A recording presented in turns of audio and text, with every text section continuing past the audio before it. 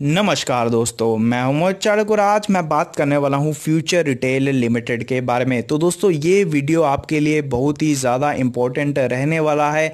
अगर आप इस स्टॉक में अपना निवेश लेके बैठे हुए हो, या फिर दोस्तों, आप इसमें निवेश करने की सोच रहे हो, अगर आप ये वीडियो पूरी देखते हो तो इस बात की मैं गारंटी लेता हूँ कि दोस्तों रिस्क टू रिवॉर्ड रेशो आपके फेवर में रहेगा। और आपको मल्टी वैगर रिटर्न्स कमाने के पूरे पूरे दोस्तों मौके मिलेंगे। और अगर हमारी बात झूठी साबित होती भी है तो दोस्तों हम जो है वो दोस्तों इतने कम लॉस में निकलेंगे कि हमें जो है दोस्तों ज़्यादा परेशानी नहीं होगी। In short risk to reward ratio आपके ही फेवर में रहेगा। तो दोस्तों वीडियो में मैं आपको ये भी बताने वाला हूँ कि रिलायंस के द्वारा एक्वायर किए जाने के कितने परसेंट चांसेस हैं। तो पहले बात करते हैं आज की तो आज आप देख सकते हो वन पॉइंट टू फाइव रुपये ये आपको डाउन दिखा है। लगभग one point zero five percent की आपने आज इसमें गिरावट देखी। तो दोस्तों, आपको पता है कल इसने जो है वो अच्छी खासी रैली दिखाई और रैली के पीछे कारण साफ़ था कि इन्होंने जो है दोस्तों लास्ट डे पे जो पेमेंट डिफ़ॉल्ट होने वाली थी, उसकी पेमेंट इन्होंने कर दी। बट दोस्तों, आने वाले समय में इनको और ज़्यादा भी पेमेंट करनी है। ये नहीं है कि ये लास्ट पेमेंट थी और आने वाले समय में इनको पेमेंट नहीं करनी है। और अगर मैं बात करूँ दोस्तों कि उसके कितने परसेंट चांसेस हैं कि ये पेमेंट कर देंगे और डिफ़ॉल्ट नहीं करेंगे तो दोस्तों मैं आपको बता दूँ twenty to forty percent chances हैं कि ये दोस्तों डिफ़ॉल्ट ना करें। और आप देख सकते हो पीछे कितने बचते हैं? साठ के आसपास। तो साठ चांसेस हैं कि ये हो सकता है कि डिफ़ॉल्ट कर दे।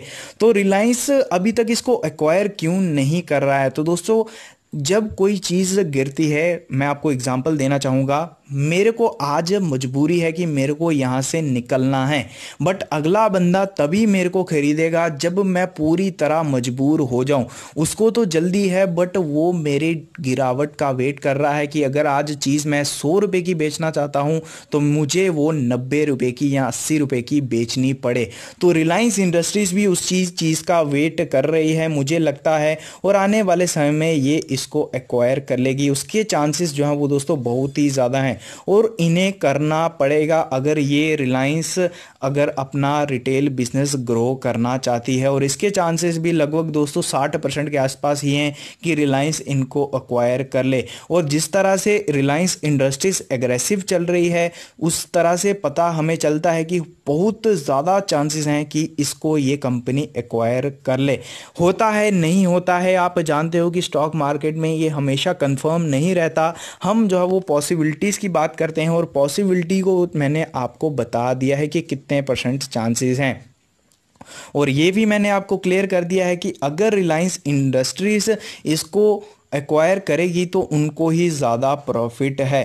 तो रिस्क टू रिवॉर्ड रेशियो जो है वो दोस्तों आपको फेवर में कैसे लेना है मैं आपको बता दूँ कि करंट मार्केट प्राइस में आपको जो है वो दोस्तों इस स्टॉक में अपना निवेश डालना है और कितना निवेश डालते हैं ये आपके ऊपर है, ये आपका रिस्क टेकिंग फैक्टर है कि आप कितना रिस्क ले सकते हैं। अगर आप लाख रुपया इसमें लगाना चाहते हैं तो मैं आपको सलाह दूँगा कि आप जो स्टॉप लॉस लें, वो नाइन्टी सेवन का स्टॉप लॉस लें। और अगर ये आप स्टॉप लॉस लेते हैं तो दोस्तों रिस्क टू रिवॉर्ड रेशो आपके फेवर में रहेगा और आपको रिवॉर्ड भी बहुत बड़ा मिलेगा। और दोस्तों, जो लॉस होगा, वो दोस्तों कम ही होगा। लॉस आपको ज़्यादा झेलना नहीं पड़ेगा। जब आपको 500 600 या इससे भी ज़्यादा परसेंट के रिटर्न्स चाहिए तो दोस्तों अठारह बीस परसेंट की गिरावट क्या होती है? इतनी सी गिरावट जो है वो कुछ भी नहीं है। अगर आप अठारह हज़ार खो भी देते हो तो ये कोई बड़ी बात नहीं है लाख रुपए के ऊपर। बट आप सोचिए, यहाँ से अगर इसको रिलायंस इंडस्ट्रीज़ एक्वायर कर ले तो आप खुद ब खुद जानते हैं कि ये आपको कम से कम भी अगर छोटे ही रिटर्न्स भी देगा तो आपका पैसा डबल करके छोड़ेगा। आई रिपीट अगर सबसे कम रिटर्न भी दिया ना तो आपका पैसा डबल करके छोड़ेगा। और आप ये अच्छे से जानते हो, जो रिस्क टेकर हैं, वो अच्छे से जानते हैं कि हमें कैसा रिस्क लेना है और वो हमेशा वो स्टॉप लॉस को फॉलो करते हैं। और मैंने आपको स्टॉप लॉस बता दिया है कि आपको 97 का स्टॉप लॉस इसमें लेके चलना है। अगर मैं बात करूँ दोस्तों इसके चार्ट की तो आप ये देख सकते हो, लगभग हंड्रेड के आसपास आके ये स्टॉक रुक रहा है और वहाँ से ये अच्छी खासी रैली दिखा रहा है। तो यहाँ पे मैं आपको बता दूँ कि जो ये स्टॉक है, वो टेक्निकली 97 का सपोर्ट ले रहा है। और 97 अगर आप लेके चलते हैं तो आपको आने वाले समय में अच्छे खासे प्रॉफिट देखने को मिल सकते हैं। और अगर मैं बात करूँ दोस्तों गिरावट की तो गिरावट की भी मैंने आपको बात बता दी है। अठारह कुछ ज़्यादा नहीं होता है अगर आप लाख रुपया लगाते हैं। और ये भी तो सच बात है कि अगर आप अठारह हज़ार खोएँगे, वो तो बात आपको समझ आ रही है, बट आपको मिलेगा कितना है ये आप सोच नहीं सकते। अगर अलोक इंडस्ट्रीज़ आपको 1600 परसेंट के आसपास रिटर्न्स कमा के दे सकता है। तो दोस्तों, ये स्टॉक भी आपको कम से कम 100 परसेंट के रिटर्न्स तो कमा के देता है।